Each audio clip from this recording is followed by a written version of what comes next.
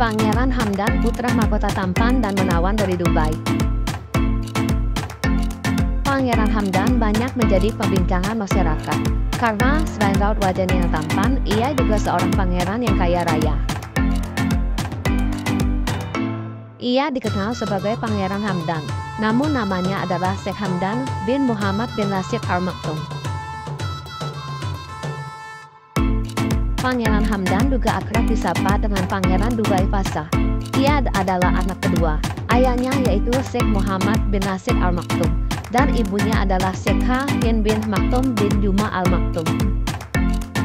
Pangeran yang sederhana dan murah hati ini lahir di Istana Sabil, Dubai pada 14 November 1982.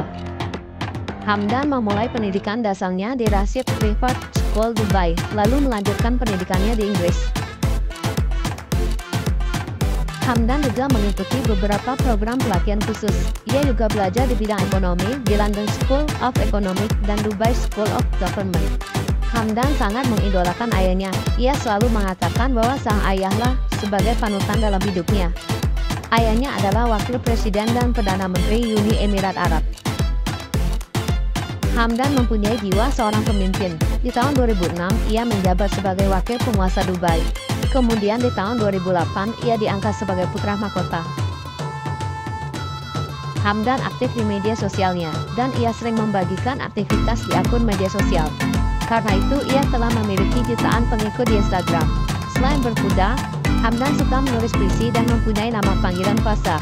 Bahkan beberapa puisinya menjadi terkenal.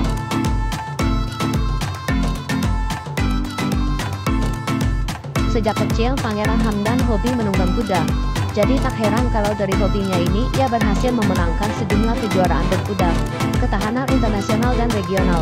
Selain itu, Hamdan juga menyukai banyak olahraga lainnya seperti terjun payung dan scuba. Ia bakal mendapat lisensi sebagai penyelam scuba.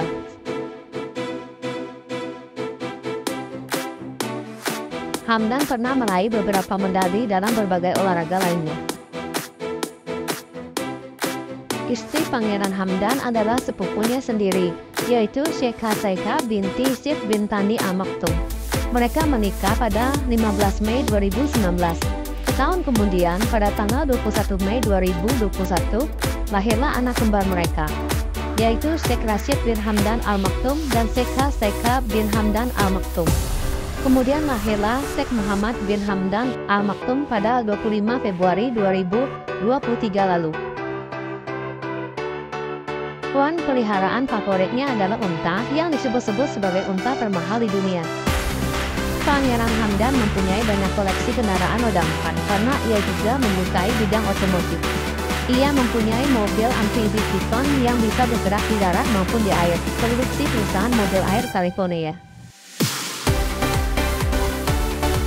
Hamdan membuat program Dubai Farm pada Maret 2024 lalu untuk mendukung para petani Emirat dan menjadikan negara Dubai sebagai kota utama untuk pengalaman hidup.